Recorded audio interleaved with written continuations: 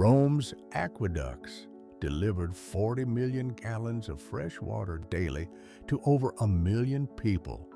But here's the insane part.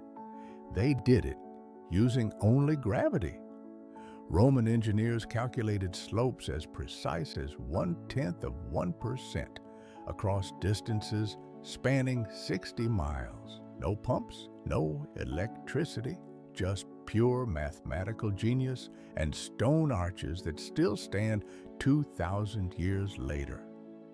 These gravity-powered channels supplied 900 bathhouses and 1,200 fountains, making Rome the cleanest civilization of the ancient world.